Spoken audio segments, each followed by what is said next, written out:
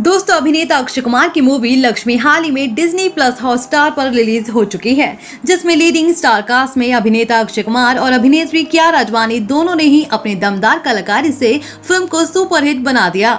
जिसे देखने के बाद कुछ फैंस ने उनकी तारीफें की तो कुछ ने पूरी तरह से बोरिंग बताए।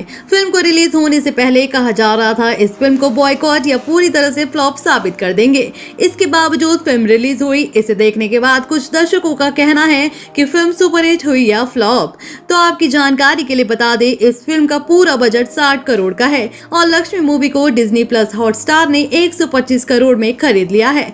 जिसके चलते फ़िल्म को पहले ही पैंसठ करोड़ रुपए का प्रॉफिट हो चुका है। तो वही सैटेलाइट जिसमें टीवी पर दिखाने के राइट होते हैं, इन्होंने 40 करोड़ में खरीदा है। और वही फ़िल्म के म्यूज़िक राइटर ने भी 10 करोड़ में खरीद लिया है। जिसके चलते 60 करोड़ के बजट में बनी इस फ़िल्म का टोटल प्रॉफिट 115 करोड़ रुपए ऑलरेडी हो चुका है। और इस फ़िल्म रिलीजिंग डेट से पहले ही कमाई के मामले में सुपर हिट रही। और ये फ़िल्म फ्लॉप होगी या ब्लॉकबस्टर पर, इस बात का पता तो हमें आने वाले समय से चलेगा।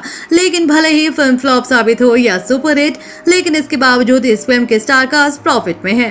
तो दोस्तों, लक्ष्मी मूवी ब्लॉकबस्टर होगी या फ्लॉप आप अपनी राय कमेंट बॉक्स में कमेंट करके ज़रूर बताएँ।